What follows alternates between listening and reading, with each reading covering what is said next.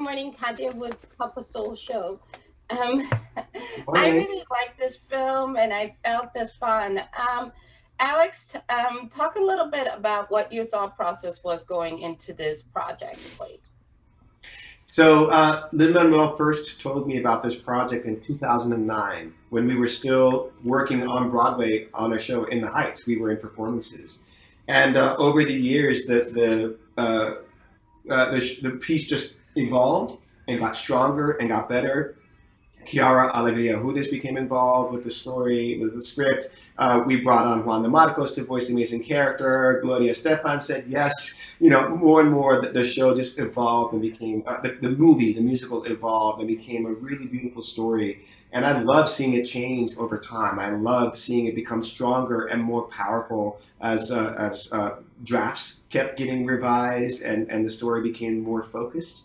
Um, and I love being able to bring what uh, I feel like I can bring to a project, which is not only my love of musical storytelling, but also my heritage. To be able to bring what it is that I, what little I know of Cuban music compared to a wonderful scholar like Juan de Marcos, to, know that I feel like I can kind of intersect these worlds, to bring in a little bit of, of, the Broadway world, to bring in a little bit of the pop world, to bring in a little bit of the, the Cuban music world.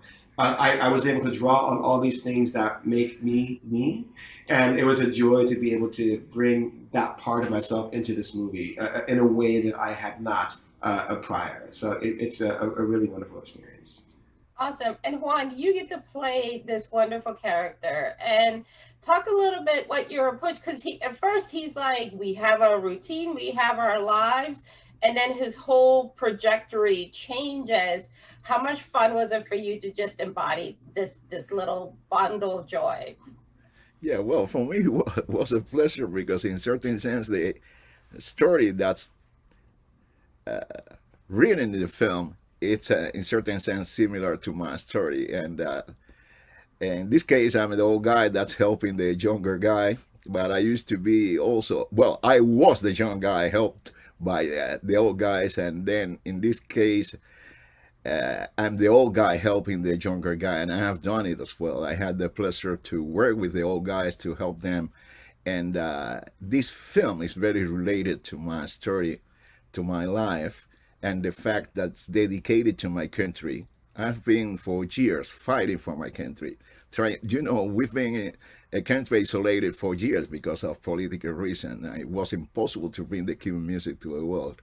And I have been fighting during my whole life to bring this music, creating, writing music and presenting shows. And uh, the fact that this film is dedicated to Havana and it's so well represented Havana and the characters of the people, how the people behave, because this is the way that we behave. We are selling croquetas in the in the streets. We are singing in the streets. We are uh, playing domino in the streets. It was so well represented. Uh, it, it, was a pleasure to work in this. It's, they have done a great work. Uh, Lin-Manuel Miranda wrote beautiful music. Alex Lacamoire wrote great arrangements. The acting is great, except mine, because I, am not an actor at all, but I had the helping hand of all of these guys, and I made it good enough for the layman. he was great. He was great. No, the, no, you did fantastic. The film is heartfelt. I think you're going to see a lot of kids and adults singing in the new music. Thank you so much for your time and much success. Thank you, Kathy. It's huge.